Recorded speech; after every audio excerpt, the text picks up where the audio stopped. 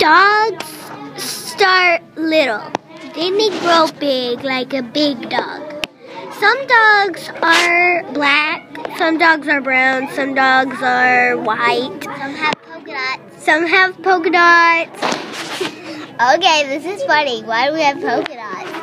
I don't know why dogs have polka dots. Some are black and white together. Some are some can be splashed with some different kind of things. Okay, so goodbye. See you tomorrow.